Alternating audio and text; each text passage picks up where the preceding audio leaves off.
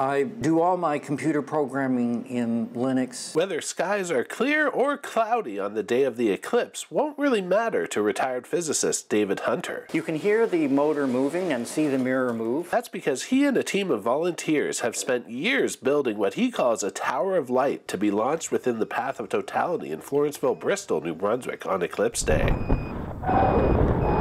The payload has six cameras on board, with one taking continuous video and another to be dynamically aimed at the sun. It will all be attached to a balloon capable of ascending up to 30 kilometers into the stratosphere. The device is run by this lithium-ion battery pack. The system has a Wi-Fi network with the main computer being a Raspberry Pi 4. There are five computers in total. The Agile Eye camera system has three motors in it, one to run each axis of the gimbal along with a motor to bring the solar filter in or out of the camera. So no matter how much this spins, the camera's going to stay in the same place? Uh, to a first approximation.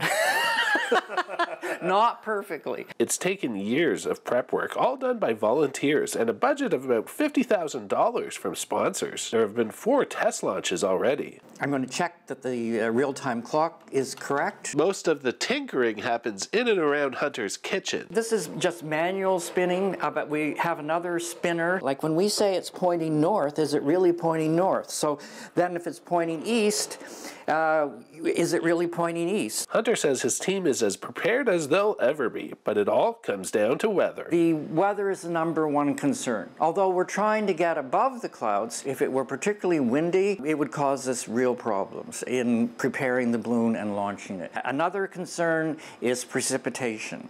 If it's raining or wetness coming down, it could add extra weight to the balloon, which would not be good. The Solar Eclipse Balloon Project is the only citizen-led project of its kind outside of NASA. After parachute descent, it will be somewhere in New Brunswick, typically high up in some trees. The Weather Network will be broadcasting the stream as it happens, and the live stream can be accessed on YouTube.